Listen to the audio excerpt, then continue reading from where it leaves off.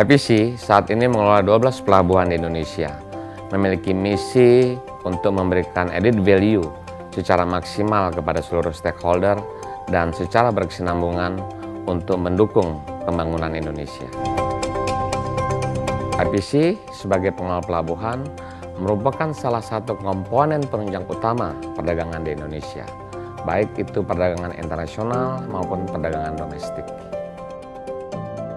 IPC sebagai pengelola pelabuhan juga berkolaborasi dengan berbagai stakeholder baik di bidang kepelabuhanan maupun logistik di Indonesia. Kita juga harus bangga bahwa IPC merupakan pintu gerbang maritim untuk Indonesia dan pemerintah telah memprioritaskan bidang maritim sebagai sentra pembangunan ekonomi, terutama bagi anggota dari Asia Pacific Economic Community. Dan ini menggambarkan bahwa Tanjung Priok menjadi salah satu pelabuhan terbesar di Asia Tenggara. Dengan posisi IPC saat ini, adalah tanggung jawab kita untuk bisa tetap kompetitif, menjadi salah satu yang terbaik, dan menjadi leader dalam industri pelabuhan. Otomasi dan digitalisasi akan berdampak pada industri pelayaran dan pelabuhan lebih cepat dari yang diperkirakan. Saat ini, digital disruption sudah terjadi di mana-mana melalui berbagai teknologi terkini seperti Internet of Things, Big Data Analytics, Cloud, Drone, Artificial Intelligence, dan juga Mobility.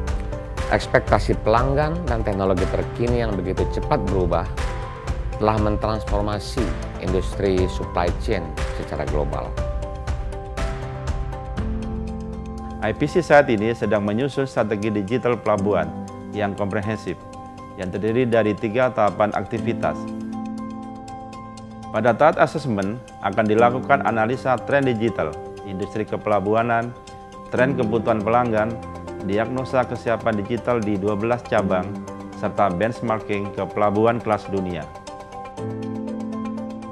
Pada tahap desain akan dilakukan pendalaman visi digital IPC, workshop inovasi digital, prioritas inisiatif, dan pembuatan desain strategi digital IPC. Pada tahap implementasi plan akan dilakukan penyusunan roadmap rencana implementasi yang detail beserta program change management. Dengan adanya digital disruption, pelabuhan berevolusi memasuki era baru, di mana transformasi terjadi dari terminal operator menuju trade facilitator.